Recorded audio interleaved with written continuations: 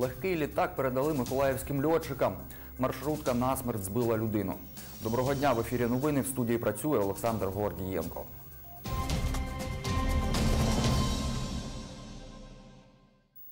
Як безоплатну благодійну допомогу бригаді морської авіації волонтери сьогодні передали легкий транспортний літак Ан-2.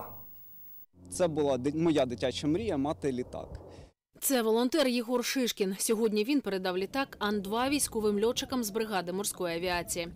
Чоловік придбав його в 2015 році на обласному комунальному підприємстві Міжнародний аеропорт Рівне, де техніку до 2014 року включно використовували для пасажирських перевезень. Жовтні літак транспортували до Миколаєва. Придбав я його в Рівенської авіакомпанії. Рівенська авіакомпанія наразі знаходиться в процедурі санації. В процедурі санації е, авіакомпанія е, здійснювала продаж е, залишкових активів. Чому цій бригаді? Тому що саме ця бригада здійснює е, підготовку парашутно-десантного складу. В них була необхідність від е, командира даної бригади я дізнався про необхідність їх, і от ми домовилися, що я здійсню передачу даного літака. 10-та бригада морської авіації єдина частина збройних сил України, яка експлуатує літаки типу Ан-2, розповідає заступник командувача військово-морських сил з авіації Ігор Бензай. Бригаді літак використовуватимуть для початкової парашутної підготовки підрозділів морської піхоти, десантно-штурмових військ, спецпризначенців, а також курсантів Академії сухопутних військ. Всі початкові стрибки з парашутом повинні виконуватися з літальних апаратів з малою швидкістю. Для цього використовується або вертоліт Мі-8, е, або літак типу Ан-2. Крім того, це є унікальний літак. Він може знаходитись е, з одної заправки в повітрі до 7 годин. І під час виконання навчань ми використовуємо його як ретранслятор е, при відпрацюванні завдань вертольотами в морі на максимальному тактичному радіусі. Е, Також цей літак можна використовувати як для транспортних перевезень е, вантажів і е, службових пасажирів, а також для медичної евакуації. Він може здійснювати посадку з польових аеродромів і майданчиків, ну, яких у нас по узбережжю дуже багато. Ан-2 може взяти на борт до 10 пасажирів та розвиває швидкість до 200 км на годину. Він економічніший в експлуатації та обслуговуванні, на відміну від вертольотів, говорить офіцер бригади морської авіації Максим Тюпін. Льотчики його ескадрилі керуватимуть цим літаком. Є запчастини на вертольотах, е, які дуже дорогі. Там редуктори, лопастя. І в- цих запчастинах є ресурс. Вони випрацьовуються, тобто там 20-30 годин нальоту. І треба робити на них регламенти, е, роботи якісь. А на тут ці часи напрацювання більше, гораздо більше. В цій авіаційній бригаді два Ани. Один зараз капітально ремонтують на Вінницькому авіаційному заводі. Той, що сьогодні передав волонтер, наступного року за 2 мільйони гривень з держбюджету підремонтують так само у Вінниці, говорить Ігор Бедзай. Е, За юридичними процедурами ми повинні по срокам служби виконати на ньому капітальний ремонт. Е, Капітальний ремонт виконує Вінницьке авіаремонтне підприємство, яке має на це ліцензію. І ми плануємо в наступному році включити цей літак до плану ремонтів. Ан-2 – перший літак, переданий військовими приватною особою, і друга одиниця техніки подарована бригаді як волонтерська допомога. Вже експлуатується вертоліт К-226, переданий Львівською облдержадміністрацією. Ан-2 після капітального ремонту планують підняти у повітря вже наприкінці наступного року.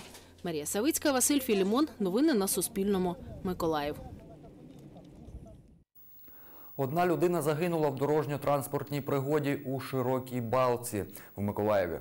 Аварія сталася за участю водія маршрутного таксі Північний Кульбакіне. 30 жовтня близько 20.00 на вулиці 295-ї стрілкової дивізії у корабельному районі 57-річний водій маршрутного таксі наїхав на чоловіка, який перебував на проїзній частині. Речниця Нацполіції Інна Парфенова говорить, водій був тверезий. Поліція відкрила кримінальне провадження. За вказаним фактом розпочато кримінальне провадження за частиною 2 статті 286 Кримінального кодексу України. Це порушення правил безпеки дорожнього руху, що спричинило загибель людини. Санкція вказаної статті передбачає до 8 років ув'язнення. Наразі слідчі проводять відповідні слідчі дії, а також експертизи для встановлення усіх обставин дорожньо-транспортної пригоди, а також її причин. Особа потерпілого наразі не встановлена. Прохання до всіх, хто за одягом впізнав вказаного чоловіка або володіє будь-якою корисною інформацією для слідства, звертатись у відділ розслідування злочинів у сфері транспорту слідчого управління або телефонувати 102. Олександр Гресі, Євген Сержук. Новини на Суспільному. Миколаїв. У Вознесенську відбулись чергові навчально-методичні збори з особовим складом місцевої пожежної охорони. В семінарі взяли участь працівники пожежних об'єднань Арбузинського, Братського, Веселинівського, Вознесенського, Врадіївського, Доменівського, Єланецького, Кривоозерського та Первомайського районів. Працювали на базі 12-ї державної пожежно-рятувальної частини. Після теоретичної складової семінару приступили до практичних демонстраційних занять.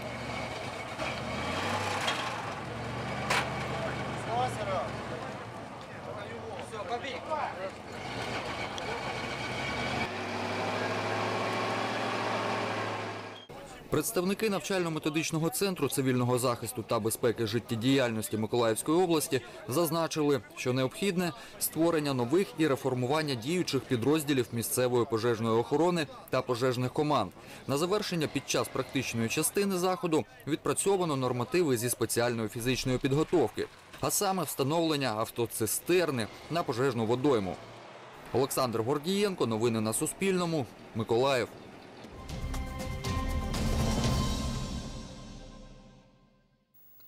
Муніципальний футбольний клуб Миколаїв вперше зіграв на оновленому газоні центрального стадіону проти Чернігівської Десни. Команда Юрія Чауса в одній восьмій фіналу Кубка України поступилася команді з прем'єр-ліги. Матч розпочався з обміном моментів біля воріт обох команд. На 15-й хвилині удар у бік воріт виконав миколаївець Владислав Бугай. А вже на 18-й хвилині корабели повели у рахунку. Після пасу з правого флангу Романа Попова гол забив Іван Сондей. Місцева команда недовго вела у рахунку. На 20-й хвилині зустрічі зрівняв рахунок гравець Десни Єгор Картушов. На 26-й хвилині матчу гравець миколаївської команди Сергій Кравченко влучив у перекладину. Недовго залишався рахунок нічийним. На 32-й хвилині зустрічі після серії рикошетів Олександр Філіпов зробив рахунок 2-1 на користь чернігівської команди. Гравці миколаївської команди сигналізували, що їхні суперники в момент удару знаходились поза грою. Натомість головний суддя матчу вказав на центр поля. З таким рахунком команди пішли на перерву. У другій половині зустрічі на 54-й хвилині гравець місцевої команди Владислав Войцеховський замінив Сергія Панасника. Ця зміна зіграла на користь корабелів. На 60-й хвилині матчу удар Владислава Бугая парирував голкіпер Десни Ігор Литовка і вже на добиванні зробив рахунок 2-2 у цій грі Владислав Войцеховський. Відразу ж після цього гості знову повели у рахунку. Після помилки миколаївського голкіпера дубль у цій грі записав на свій рахунок Олександр Філіпов. Команди, провівши ряд замін, моментів біля воріт обох команд не було до кінця зустрічі. Спочатку другу жовту картку отримав на 90-й хвилині миколаївський футболіст Сергій Кравченко. І відразу після цього гравець Десни Єгор Картушов встановив кінцевий рахунок у цьому матчі 4-2 на користь чернігівської команди. Восемь свежих человек вышло по сравнению с предыдущим туром. Вісім свіжих гравців з'явилося на футбольному полі у порівнянні з попереднім туром. Напевно, відсутність ігрової практики десь позначалася в командних діях теж.